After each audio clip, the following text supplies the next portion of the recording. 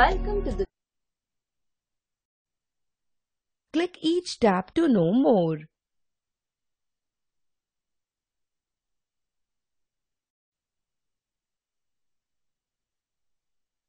This part was formed by the river Indus and its tributaries, that is, the Jhelum, the Chenab, the Ravi, the Beas, and the Satluj. The Indus River basin is largely located in Pakistan, excluding a little portion of Punjab and Haryana plains in India.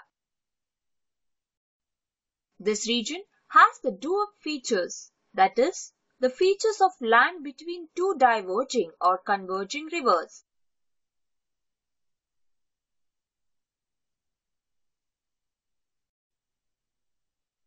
The central part. It is called as the Ganga Plain. It extends from the rivers Gaghara to Teesta. It is spread across the states of Uttar Pradesh, Bihar, Haryana, Jharkhand and West Bengal.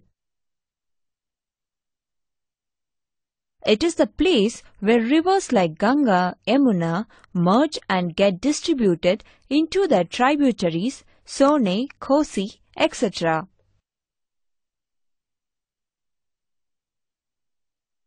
The eastern part The eastern part mainly exists in the Brahmaputra valley of Assam.